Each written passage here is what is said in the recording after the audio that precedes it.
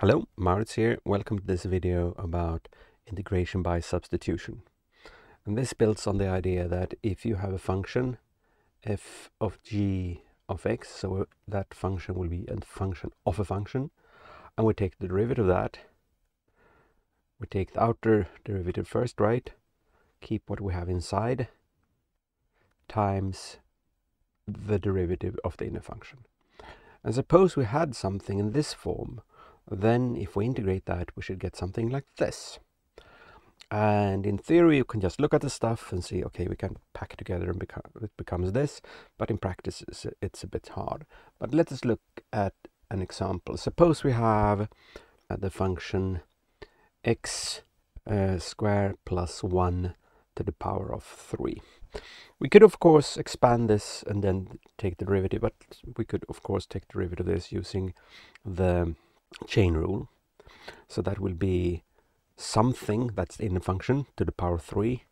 That will give us 3 times the something to the power 2 since the derivative of x to the power 3 is 3x to the power 2 but now x is, then, is the inner function times the derivative of the inner function that now will be 2x. And if we rewrite that in a bit nicer order, we'll get 6x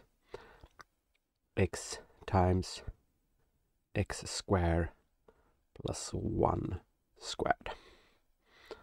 Okay, so suppose we instead get the task to find this integral. So the integral of 6x x squared plus 1 squared with respect to x. So what we do is we try to look on an inner function or a part of the whole thing that if you take the derivative of that, you get the rest of it, so to speak. And if we look at the derivative of this part, we will get 2x. Okay, in front of here we have 6x, but we can fix that.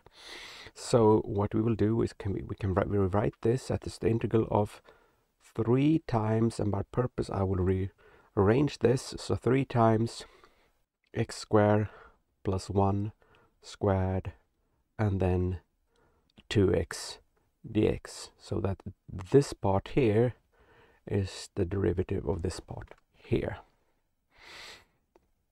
And now to a little bit of trickery or a bit of a method to do the very working. So what we do here is that we say we put a variable u equals to x squared plus 1, so the inner function we have there. And this line, by the way, I draw there is to indicate that this would be a helping step.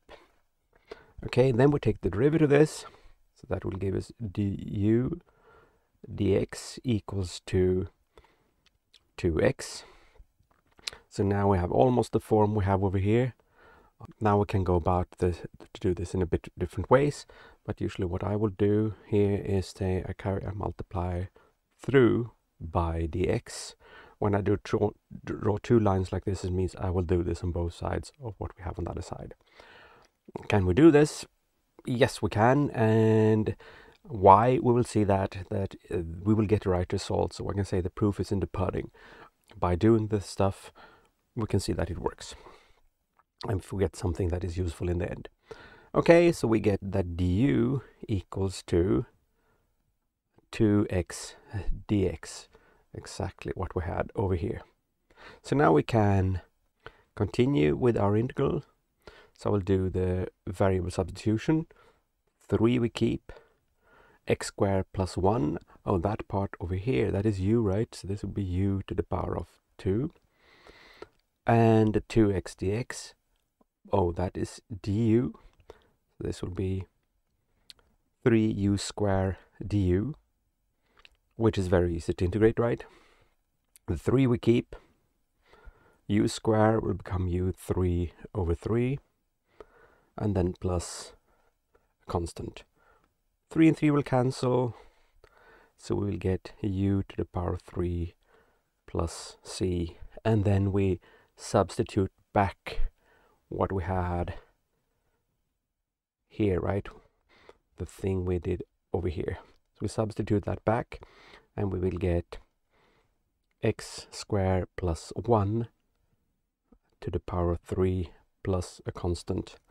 And we can see that x squared plus up here, we see that x squared plus 1 to the power of 3, if we take the derivative of that, we will get exactly what we started with 6x times x squared plus 1 and that squared. So this worked fine. So this, this is an example of integration by substitution. In the next video, we'll look at further examples. Thank you.